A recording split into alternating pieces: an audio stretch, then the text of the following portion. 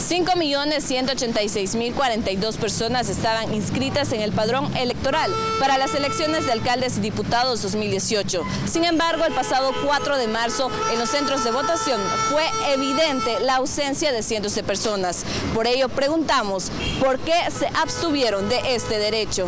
No se merecen el voto, creo, porque así como está el país, supongo que hay personas que ya no confían en los diputados o alcaldes que, que gobiernan. ¿Las promesas que hacen crees que no las cumplen? No, no las cumplen, la verdad son falsas. Es alarmante. Los jóvenes, quienes son considerados el futuro de un país, en esas elecciones se han quedado de brazos cruzados y no han votado. No me convencía. ¿Por qué no te convencía? No sé, siento que la política no es algo que beneficia mucho al país.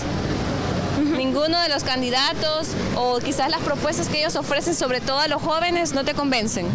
No, realmente las propuestas son las que no me convencen. Eh, igual, o sea, con la mayoría de mis compañeros es como que casi nadie fue a votar. La importancia de ejercer el sufragio en esas elecciones radican en que quienes sean elegidos para formar parte de los 84 diputados elegirán a cuatro magistrados de la Sala de lo Constitucional, el fiscal general de la República, el procurador general de la República, el procurador para la defensa de los derechos humanos, magistrados del Tribunal Supremo Electoral y los magistrados de la Corte de Cuentas de la República. Hay que hacer una reflexión bien seria sobre el aporte que brindan al país. Porque sí hay aporte, pero hay que ver desde qué punto y qué perspectiva están aportando al país. Pero usted mejor decidió no ir a votar.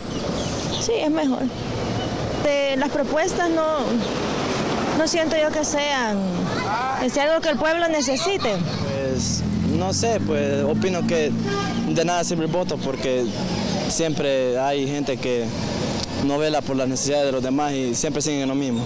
Los jóvenes hacen un llamado a todos los partidos políticos a integrar más a la juventud y crear más propuestas para que juntos puedan construir un mejor país. Con imágenes de Edwin Linares, Raquel Castaneda, Noticias 4 Visión.